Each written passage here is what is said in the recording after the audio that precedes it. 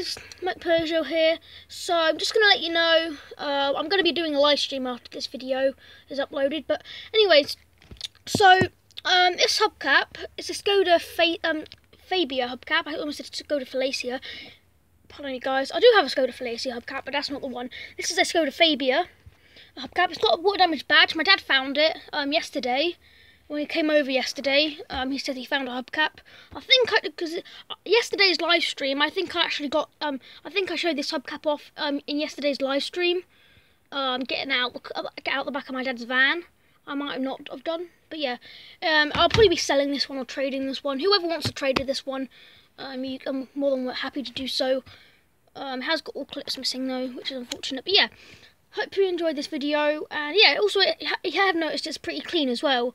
Um, only a little bit of dirt. Um, probably for back wheel, I guess. Yeah. Bye, guys.